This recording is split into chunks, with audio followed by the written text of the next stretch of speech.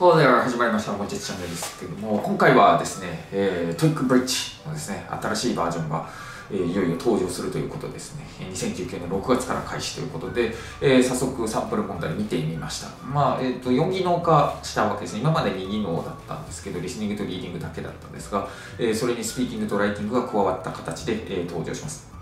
で、前から発表はされてたんですが、えー、いよいよサンプル問題が出たので、えーと、そうですね、分析してみたいと思います。えーと、まずそれぞれの、えー、パートを見ていくんですけど、まあ、マイナーな試験だったんですよね、非常にね。で、多分4技能にして、えー、これからですね、えー、進出、この4技能試験のですね、業界に入っていこうと、えー、頑張っていくんだと思いますが、で、えーと、それぞれ見てみますね。うんとまあ、全体的に、えー、見て言えることは、この今までの TOEIC Bridge に、えー、さらに新しくなった今トイック L&R 新しくなったんでそれの要素で TOEIC スピーキングライティングの要素を加える。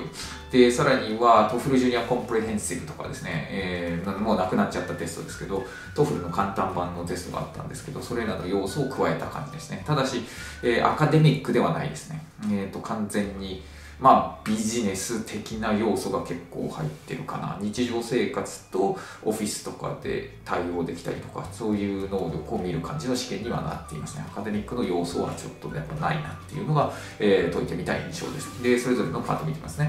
まずリスニングですけども、えーと、リスニングの一緒の問題が、えーと、画像選択問題となってるんですけども、えー、絵を選ぶ問題ですね基本的には。で絵を選ぶ問題がえー、それが6問ですね。えーと、いわゆる今まではこの写真があってその写真に合う英文をですね選択する問題だったわけですがそれが絵があって絵を選ぶ問題になってますね。なんかセンター試験の問題のようにですね絵を選ぶ問題になってます、はい。まあ、これ確かに選ぶんだったら絵じゃないと大変ですね。写真を1日4枚用意してそれの中から正しい写真を選びなさいというのは非常に大変なので絵になっていますしで今までの写真をですね、えー、があってそれを正しく描写しているのを選ぶ問題の要素はですねスピーキングや、えー、ライティングの方に移動しましたね、えー、描写する問題があります。はいで、えっ、ー、と、パート2ですね、えー、それが応答問題が20問あります。で、応答問題なんですが、 TOEIC の方っていうのは耳だけを使うやつですね。選択肢が表示されていません。それに対して、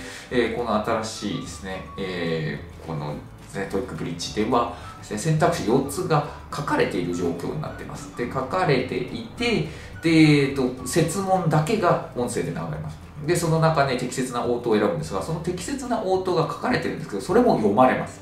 なので、かなり選ぶのに時間があるので、えー、非常に優しいですね。はい、え続いて、えーと、会話問題が10問ですね。えーと、パート3ですけど、これは、えー、1つのセットに2問ありますね。 TOEICは3問なのに対して、こっちは2問なので、その分優しくなっています。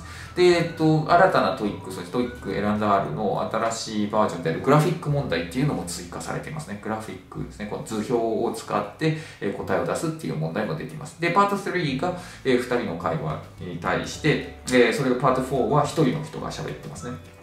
えこちらも同じようにグラフィックが加わっていますね。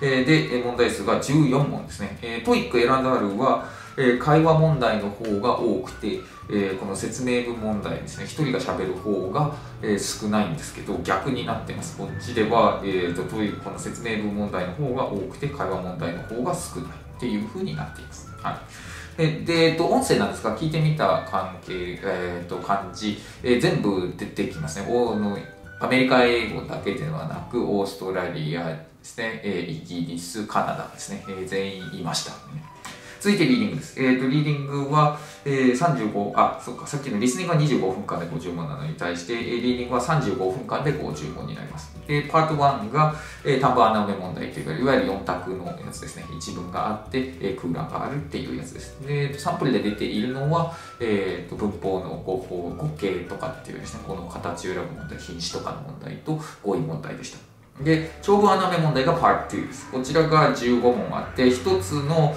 文章に3つの空欄があります。で、えっと、ずいぶん短いですね。えー、かなり短い。サンプルを見る限りでは、え文を選ぶ問題もあります。文を選ぶ問題で、 TOEIC L&R の方は文を選ぶ問題が必ず入っているのに対して、こっちはないのもありましたね。文脈を使わずに解けちゃう問題も入っているので、すべて。えー、なんでどうなっていくのかちょっとよくわかんないですけど、まあ、文を入れるのもあると。で、パート3。え読解問題ですね。20問です。まあ、 TOEICを優しくしたような感じになってますね。えーと、それぞれに2つか3つのです、ね、質問がついています。トイック選んだようにあの double passage とか triple passage みたいなのはありません。えー、ただまあ、設問の中にあのセリフを入れる問題なんかがあったので、あの text message ですね、えー、この LINE みたいなこの会話の中で、えー、セリフを入れるなんていう問題があったので、ちょっと面白いかなっていう感じです。はい、で続いてスピーキングテストですね。いよいよ新たに加わったやつですけども、えまずは音読問題ですね。音読が2つあります。これ TOEIC、えスピーキングと同じですね。ただまレベルとかも全然違いますね。こっちも短いですし、随分簡単です。で、次が question 3 to 4ですね。3から4は写真描写問題です。写真描写問題が2問もあるんですよ。えー、それが結構違うな。で、何なんでしょうね。ETS 側って写真描写問題って簡単だと思ってですね、えー、と、随分序盤にこう出してくるんですけど、えー、日本人にとって非常に難しいですからね、写真描写問題って。かなり大変なので、どうなんだろうって思いますけどね。で、30秒準備して、で、30秒話すっていう形になっています。それが2つあります。で、クイクエスチョン5は、え聞いたことを伝える問題って言ってですね、リスニングとスピーキングの両方の力が問われる問題になっていますね。えーと、誰かが喋ったものを聞いて、それを要約して伝えるっていう力になります。えー、なかなか面白い問題だと思いますね。2つの力を問う問題ですね。で、次が、えー、Question 6が短い応答問題ですね。文章を読んでですね、で、その情報を聞いたりとか、依頼したり、申し出したり、提案したりするっていう、えー、やつです。これも統合型ですね。えー、説問をこの読んで、まあ、すごい短いやつですけど、え、ちょこっと書いてあって、それに対して答えるっていう、え、形式の問題になっています。で、えー、Question 7が、えー、ストーリーですね。4コマ漫画です。4コマ漫画を伝えるですね、えー、どういうストーリーかっていうのを伝える。まあこれ、 TOEFL Junior Comprehensive だったりとか、えー、英検準1級とか2級とかですね、あれと、えー、ちょっと似てるような形になっていますね。で、最後、クエスチョン8が、えー、アドバイスをする問題と言われるやつですね。 recommendation とかをするって言って、なんか2つのチョイスがあって、で、それに対して誰々さんがこういう、こうこうこうしたいけど、あなただったらどっちを進めますか？その理由を答えなさいですね。えー、その条件をちゃんと理解し、そして、え、この情報があって、その情報を読み取って答えるっていうですね、これもいくつかの力をですね、使う形になってます。まあ、 TOEIC Speaking の優しいバージョンになってる感じですね、全体的に。ただまあ、ストーリー作成問題なんていうのはなかったので、今までですね、えー、なんかちょっと英検も意識したような感じになってます。はい。最後、ライティングですね。ライティングも多いんですよ、問題数が。これが意外や意外ですね。今までのライティングテストと比べて随分多いですね。で、えー、question 1から3っていうのが、でえー、並べ替え問題ですね。build a sentence という形で、えー、並べる形になっています。はい、で、えー、次に4から6っていうのが、えー、写真描写問題になっています。で、で2つの単語が用意されてて、えー、それを元に作るという形になっていて、これはまあ TOEICライティングと同じですね、えー、になっています。で、次が question 7が、えー、短文メッセージ返信問題って言ってますね。えーと、いわゆるテキストメッセージですね、LINE みたいなメッセージがあって、それに返信をするという形になってます。で、次がなかなか面白いんですね。Question 8が、えー、ですね、Write a narrative ということで、ストーリーをですね、え作成するわけですね。はいえー、なので、ストーリーを書くっていうのはなかなか面白いなと思って、で、まあ、サンプル問題でブログのポストを書きましょうってなってるんですよね。で、10分で、これはなかなか今までなかったような、えー、ですね、ものなので、ちょっと面白いなと思って、結構クリエイティビティのですね、面も飛んだなっていうのが面白いです。で、最後が、えーと、この E メールへの返信ですね。はい、E メールに返信するっていうのが10分ですね。